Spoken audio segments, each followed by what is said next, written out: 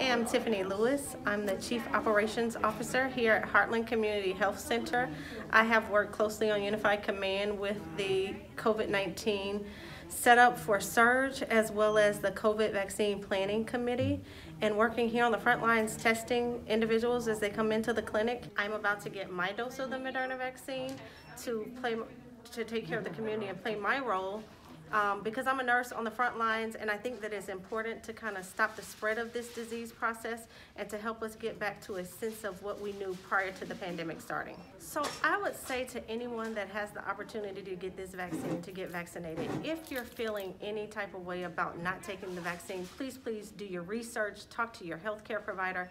With any vaccine, there are risks and there are benefits, but for this vaccine, for me, the benefits far more outweigh the risk. So I encourage anyone, you can reach out to our providers here. They'll provide literature.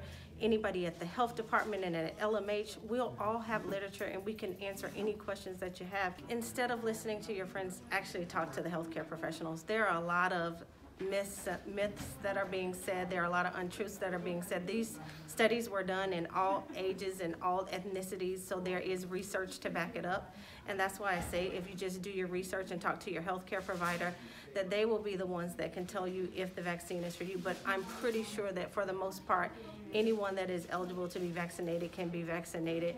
Just ask those questions and we are willing to provide you with any answers that you need. Being African American and being in a big family, this vaccine was important. It was important for me to allow my family and my friends to see me play my role. This will definitely bring us together as a community. This is one of those those task that we can all play a part in that's going to lead us in a positive direction.